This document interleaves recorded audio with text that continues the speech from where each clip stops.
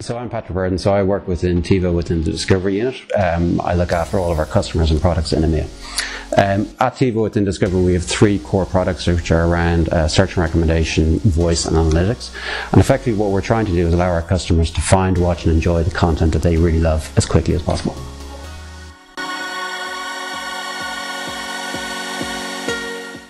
So I think I think three three really good.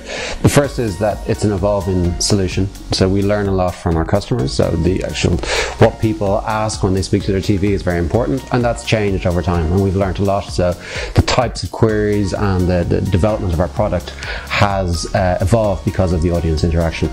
I think secondly, what's going to happen in the future is you know where we talk about natural language understanding, we, we consider that the why. So the what is the text that we get from the audio. The why is why do you ask that question?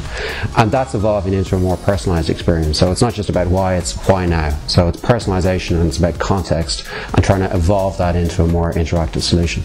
And I think the, the third thing is the industry as a whole, and not, not just within entertainment, but the voice industry, is starting to realize that there needs to be some level of cooperation. So uh, Amazon recently launched uh, Interoperability Group, which TiVo is, is a member of, and that is looking to see if there is cooperation that can exist between multiple devices. Maybe it's a wake word for TiVo when you want to work with TV, or maybe it's a wake word for Alexa if you want to order an Uber, but that may be a single device. So I think that is a positive step because there's lots of devices in the home right now and, and, and they need to work together at some level. now in Europe we're in um, UK, so we've got we've got English, we've also got German, Italian. Last year we launched Portuguese, and just before Christmas we launched Spain, or Spanish in Spain as well. So that's that's an evolving process, and we've got some additional languages coming up this year, which is a big challenge for our team.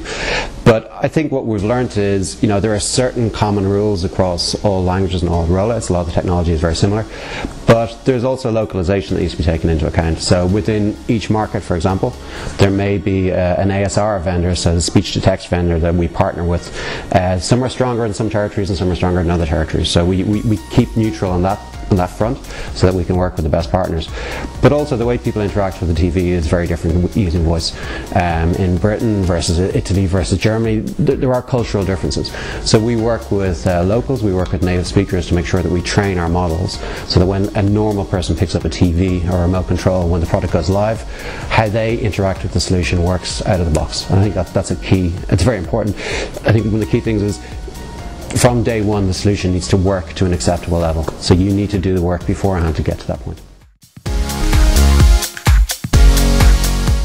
Our perspective, in terms of product perspective, that uh, conversational context in, in, terms of understanding around the natural language understanding why you want this query, why are you asking this query at this time of day on this device at this particular moment.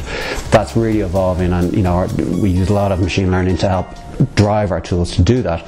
But that is, I think, the next step in terms of where we're going to go to next, and that, that's all driven by personalization. So we've got a big push there.